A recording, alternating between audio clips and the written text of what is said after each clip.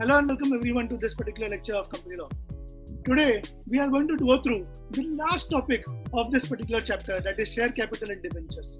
We are at the last topic which is section 71 which speaks about debentures. Which speaks about debentures. We are through with share capital. Only topic that is left is debentures. So this will conclude our chapter today in this particular lecture itself. Let's go to section 71 without wasting any time. First of all, definition of debenture is given under section 2 subsection 30. What does the definition say? Definition simply says that debenture includes debenture stock, bonds, and any other instrument of a company. Debenture stock, bonds, and any other instrument of a company which evidences a debt, evidencing a debt. This is the most important point. Any instrument, any instrument issued by the company which evidences a debt by the company, whether constituting a charge on the assets of the company or not. So, any instrument that is issued by the company which creates a debt on the company to repay is known as debentures. Okay, this is the definition of debentures under section 2 subsection 30. Now let's get into the provisions which are given under section 71. First of all, a company may issue company may issue debentures with an option to convert that is convertible debentures. We are speaking about convertible debentures. See, the company may issue different type of debentures. It may be convertible debenture, non-convertible debenture, redeemable debenture, etc., etc. And the first provision says that company may issue debentures with an option to convert such debentures into shares. That means these are convertible debentures, but the company has to, at the time of redemption, if they want to convert it into equity shares, then a special resolution needs to be passed for such an issue of convertible. So, in case a company wants to issue convertible debentures, then the company will have to pass a special resolution in the general meeting. Okay, so this is the first point. Second point is to be noted very, very clearly that no company shall issue any debentures carrying any kind of voting rights. So debentures are normally the characteristic of debenture is there is no voting rights in a debenture. So I hope this point is also clear to you. Company may issue secured debentures subject to terms and conditions which are prescribed in the which are prescribed in the company's share capital and debenture rules 2014. This point you have to remember, but the rules you do not have to go through because that is not in the scope of your examination. Okay, so the company may issue secured debentures subject to the terms and conditions which are prescribed in the rules provided for the same. Okay, secured debentures means debentures which are secured by the assets of the company. Okay, company may also issue unsecured debentures also which are not backed up by assets of the company. Okay, now the next point is company shall create a DRR account. DRR account means debenture redemption reserve account. In the exam, you should write the full form of the same debenture redemption reserve account which has to be created by the company out of profits available for payment of dividend and amount created shall not be utilized except for redemption of debentures. So whatever amount you have created in the DRR account as per the rules, the amount which is there in the DRR account shall be utilized only and only for the redemption of debentures and no other purpose whatsoever. So this was point number four. Point number five says no company shall issue prospectus no company shall issue prospectus or make an offer to its members if the members are exceeding 500 members for subscription of debentures unless a debenture trustee is appointed by the company. What does this mean? See, whenever you come up with an issue of shares or securities or debentures, the company has to come up with an prospectus, issue a prospectus, or issue a offer to its members. If it is a public issue, then prospectus is there. If it is a member issue to its members, then an offer is required, letter of offer is required. Now, in case the members of the company, in case the members of the company, members of the company is more than 500 members, is more than 500 members, then the company can come up with an debenture issue by issuing prospectus or an letter of offer only and only, mark my words, only and only after appointing a debenture trustee. Debenture trustee. Now, who is a debenture trustee? Debenture trustee is basically a person who is appointed on behalf of the debentures for the protection of interest of debenture holders.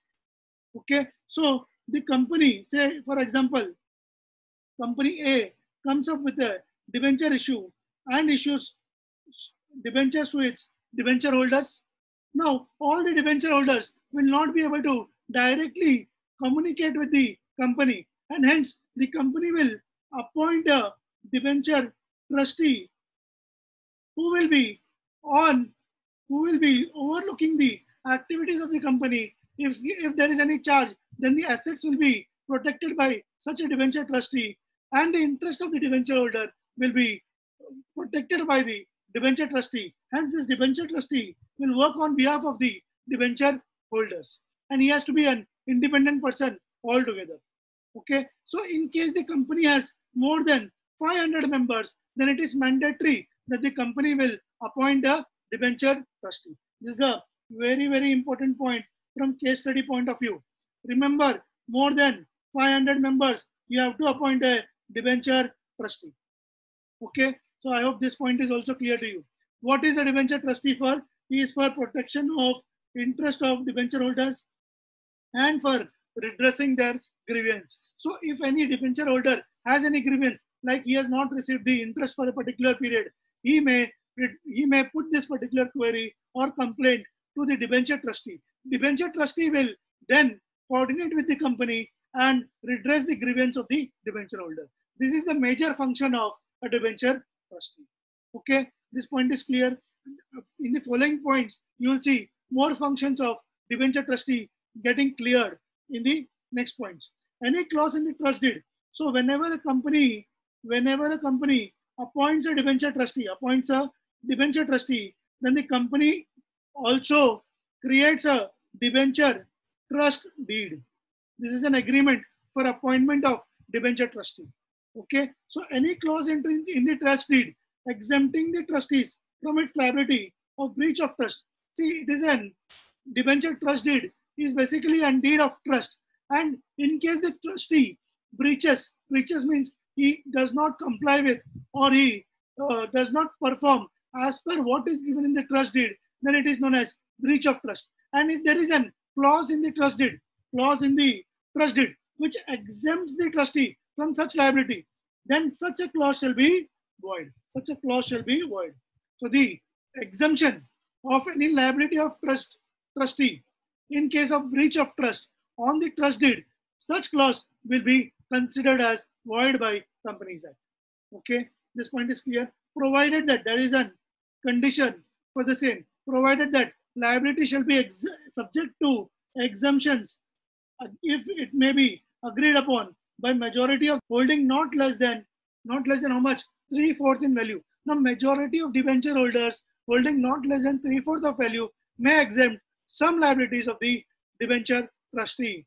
Okay, for that particular purpose, what is the majority which is required? Majority, majority of debenture holders. That means more than 50%. Majority means for more than 50% in numbers and three fourth debenture holders shall hold at least three fourth of the value of debentures in the company. Next point, whether debenture trustee comes to a conclusion. What conclusion? That the assets of the company are insufficient. That the assets of the company are insufficient or likely to become insufficient. He foresees, he projects that in the next year, the assets of the company will be insufficient to discharge the principal amount when due. Principal amount of what? Debentures. When it is due, then he may himself file a petition with the tribunal.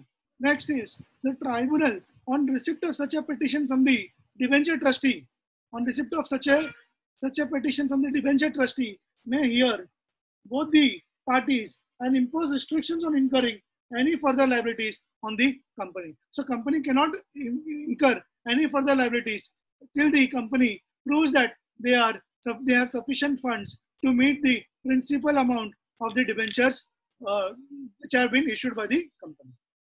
Okay, so this point is also important and you should be knowing it. So this is one of the duties of the debenture trustee to, in the interest of the debenture holders to keep an eye on whether the assets of the company are sufficient or insufficient. If it is insufficient, they may file an petition with the tribunal, and tribunal on hearing the uh, both the parties may pass an order imposing restrictions on incurring any further liabilities. The next point is if the company fails to redeem or pay interest, then the tribunal may, on application of the debenture holders or debenture trustees. So, if the company fails to or defaults in redemption of debentures to the debenture holders or paying its interest thereon, then tribunal may, on the application of both debenture holders or even the debenture trustee, direct by order the company to redeem the debentures forthwith. Forthwith means immediately. Immediately. If the company defaults in compliance of the order, every officer in default, every officer in default will be will be given imprisonment of up to three years, liable for imprisonment up to three years, or fine of minimum two lakhs to five lakhs, or both, or both. So I hope this part is clear to all of you. So I hope this particular section is also clear to all of you. That's it from me for section 71 and the chapter of share capital and debentures is concluded from this particular lecture. In the next lecture, I will be starting with uh, section 123 to section 127, which is about divisible profits and distribution of the same, which we also call it as dividend.